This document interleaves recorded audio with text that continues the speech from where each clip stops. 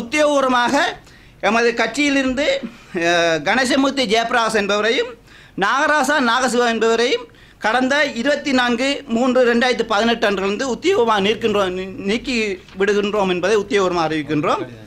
அவர்களுக்கான படி கடிதங்கள் அனுப்பப்பட்டிருக்கின்றன. எனவே இனிவரும் காலங்களில் நேற்றோர் செய்தி கேள்விப்பட்ட உண்மையாக பொய்யா தெரியாது.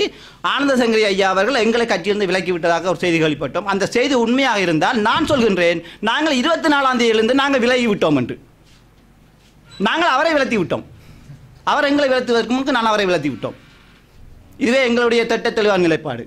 இதனைத் தொடர்ந்து எங்களுடைய ஊடக கூட்டறிக்கை இப்பொழுது வாசிக்கப்பட போகின்றது. எனவே அன்பார்ந்த மக்கள் அனைவரையும் கேட்டுக்கொள்ளுமாறு கேட்டுக்கொள்கின்றேன்.